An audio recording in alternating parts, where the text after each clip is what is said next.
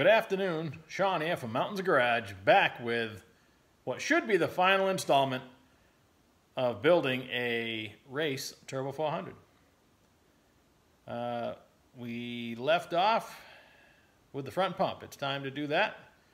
Uh, I think in this video I'm going to talk while I take it apart. There's a lot of things to cover. So I'll point the camera at it and we'll get after it. I believe this to be the pump that's actually out of the case we're using. A uh, couple things to look at. It's painted, so probably somebody's been into it. I'm gonna start with taking off the gasket, if it'll come off.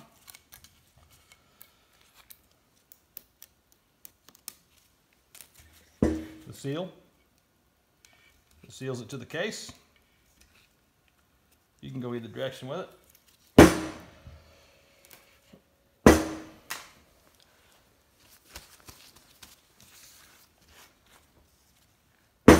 Five bolts hold the halves together.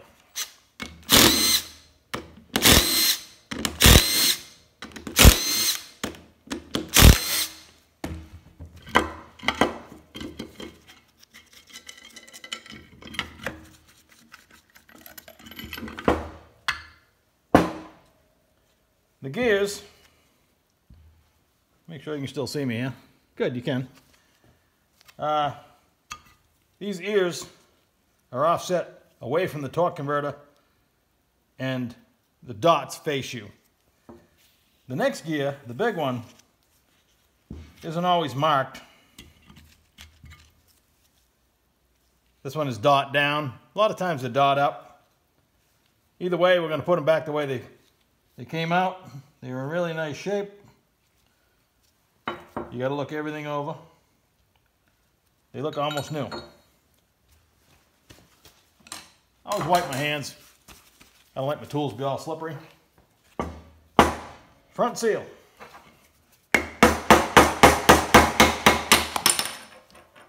Sometimes it takes off across the bench.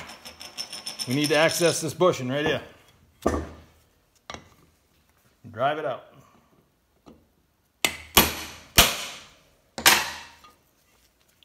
That always gets replaced. Think of all the hours that engine's been idling. That empties my front cover. I need to get this cleaned and painted because it's going to hold me up. This half of the pump, you'll notice the bolts are different lengths. It's clearly obvious where they go. You want to check all your surfaces here. Make sure it looks good. Your bushings front and back. These seldom go bad, but easily replaced. This washer is your front thrust adjustment. Uh, I have an assortment. I'm running out of thick ones. Uh, when I actually put it in the case, I'll talk more about end play, but uh, in short, you need more in the front than you have in the back because everything is being forced backwards most of the time, but the gear set wants to come forward. So these are metal rings that actually lock together. Uh, our instructions say use Teflon. I prefer the Teflon and that's what it's going to get, two seals. This is a spring we need to replace. It came in the trans brake valve body, so I'm going to clean this up. It's a horseshoe clip there. I can push that with my finger. It's not too bad. The new one will be a little stiffer, but if you hold this in the vise, push in on that, take a snap ring out. It's not a big deal. I got to clean everything, and we'll reassemble. That's just a round hunk of aluminum I set on top of the pump where the seal goes so I can give it a paint job because yes, you know, neatness counts and so do looks. So I clean that first, get it drying while I work on the rest of the pump. That's the pile of pots that get replaced. This is a beautiful pump. I mean, I hate when you have to make a judgment call whether you should reuse something. Uh, a lot of times that is the case. This is beautiful. So two things we got to do to the back cover. Uh, one, we're going to change the pressure regulator spring. It came in the kit that the instructions never mentioned. That goes in the back side of this cover. That's no big deal. Oop, there goes my finger. Two, that hole right there, let me see if I can actually point to it. This one, not that one. The one that goes in toward the stator. Because we're putting a bigger spring in the pressure regulator and upping the pressure in the transmission, that only increases the converter charge pressure, which in turn pushes on the thrust bearing on the crankshaft. When trans brakes came out, you know, people used them off the starting line, and then, you know, with turbos and stuff like that, you're holding the trans brake on a lot longer, hence the need for one, an overflow can to catch any boiling fluid, and two, you got to restrict that charge pressure that's just hydraulically pushing on the back of the crankshaft. So we're going to put a 5 16 18 tap, goes right in that hole. You don't tap it in very far. We're actually going to put a 5 16 18 set screw, grub screw, whatever you guys call it over there in Australia. And then we're going to drill 110 thousandths hole in it. Now, if you have a brass set screw, it works great and it's a lot easier to drill. Uh, I only have a steel one today, so I'm going to go ahead and tap that, put it in there, and drill it in place, and then take it apart and clean it. But yeah, what a beautiful pump, and uh, I'll do all that stuff and get back at you. Oh yeah, excuse me. Uh, the charge pressure I'm talking about is also, uh, if you pay attention to drag racing and racing automatics, you see all the uh, dump valves everybody's using now. They're actually taking the converter charge pressure, and instead of sending it out to the torque converter, the diverting it back to the pan does two things. It gives you the ability to rev the engine easier, uh, take the load off the engine. They can do they can control it all the way down track if they want to for, for different reasons, like when it shifts, the RPM drop off, stuff like that. They can get rid of some pressure for a second, or less than a second actually. It's milliseconds. Uh, also, it's taking that load off the engine thrust. Uh, like LS motors and stuff, the thrust is in the middle. It's not quite as robust as the small and big block Chevys, and I'm sure other engines suffer from the same fate. So it accomplishes two things. That's all the rage lately in racing automatics is your dump valves, and that's what they do. They're dumping pressure and freeing up. It's like the engines all of a sudden doesn't have to turn the torque converter. Takes that restriction away. RPMs go up. All right, back to work. If you pay attention to my videos, sometimes you see a lot of old socks. Well, they're actually all clean you know, after the laundry's done, sometimes they get tossed out because they have holes in them. But in this case, I'm going to put it right over the stator right there so I can put it upside down in the vise and change that spring. So not only due to their shape do they sometimes come in handy, but you'll see them all around the bench and it's not what you think, I promise. They're nice and clean. All right, I'll tap my hole. There's no drilling required. Just tap in a little ways and try the set screw because you can go too deep really easy. Uh, I've drilled my last steel set screw. I promise you that. I will buy brass ones from now on. That's a lot of work. Thing's hard. Uh, you have to take the stuff out anyway to clean the debris from drilling because that hole we didn't drill is right on top of the pressure regulator here. So take it out, clean it off, swap the spring. The spring is not very mean, so it's not hard to do. And now I'm going to reassemble this. I'm going to put one drop of Loctite on my grub screw, bottom it out, it's not going anywhere. Now I fix my converter charge pressure and change my pressure regulator spring. Final installation of the set screw needs to be below the surface of the two halves. Otherwise it would interfere. I hold it in the vise with my dirty sock here. I use my screwdriver against my chest or an extension and I carefully load everything in. I hold it sideways because without a load on it is a pin that holds the end cap. And if you hold it up and down, it wants to fall out. So I load it this way. I use my chest, I hold the spring in, and then I maneuver the snap ring into the hole. It's not great pressure. It's not a big deal. Just put everything in order.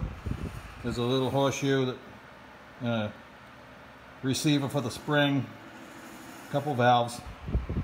Uh, if you get messed up, look in the book. I mean, this thing's so nice, you can still read the part number. Getting ready to install my pump bushing that the torque converter rides on. Lots of choices here too. Uh, material they're made out of. This is just a nice American made Durabond. Uh, I've chosen a driver slightly bigger than it. I'm just going to go down and hit it flush. And uh, that's where I'm going to leave it. like if you watched any other of my videos, I'm going to pack the cavity there with Vaseline so I don't knock the spring out when I pound on the seal. And I'm going to try to install that in one or two hits. Almost forgot on the OD of the pump bushing, I put a couple drops of this, uh, just for good measure. All right, I installed my seal, flipped it over, I lubed my pump gears. I also used my excess lube for my seal to uh, lube the area where the seal will ride on the torque converter and the bushing itself. Just can't say lube enough. Uh, got both halves ready to go together. You see these long cavities? Well, they're going to end up together. That's how I originally orient them. Uh, this remains as it sits. The pump gear is facing up. I'll flip this over, put the bolts in it, and I'll hold that up and tighten it up. Uh, you can't tighten it fully and I'll show you why in just a second. Before you can tighten the bolts that hold the pump halves together, you need to align both halves. So I've installed my super high-tech hose clamp. It's actually two large hose clamps that I screwed together as a teenager and I've assembled a million transmissions since then, or maybe a thousand, I don't know. A lot. If you have an empty transmission case, you could put the pump in upside down and then tighten the bolts. That works too if you don't have access to these super high-tech hose clamps, but you need to hold the halves in alignment and then tighten the bolts. Uh, out of habit, I flip it over and gently down through the seal. With my pocket screwdriver, I always make sure the pump gears still turn. Uh, just a good idea, but just don't dislodge the, the spring in the seal. Just be careful. Uh, now I just need two sealing rings and of course my thrust washer I'm going to select the biggest one I have. That actually goes on first and then the seals. And uh, I'll meet you over at the transmission. We're going to put her in.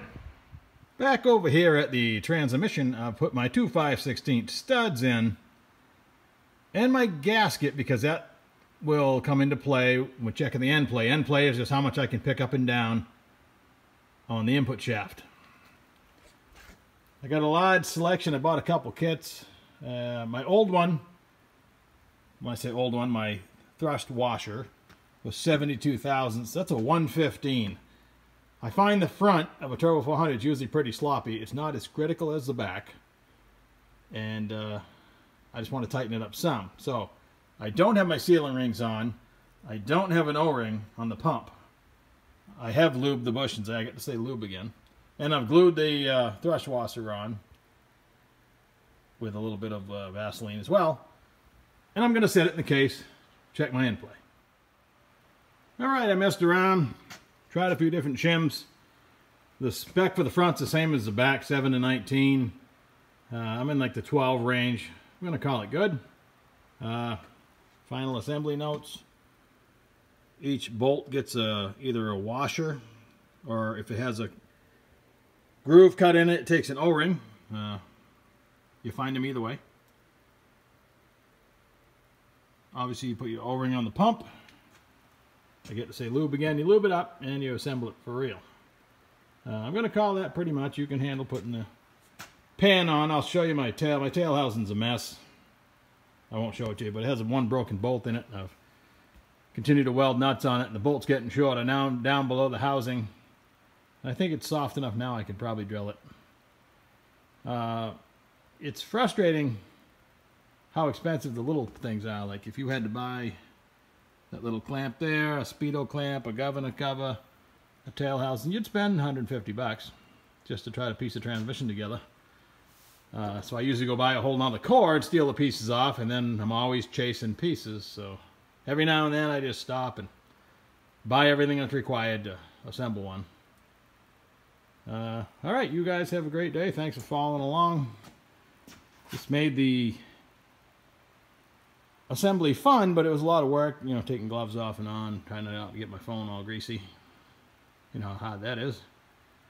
And uh, hope it helps out. Like and subscribe. Uh, who knows what we'll rebuild next.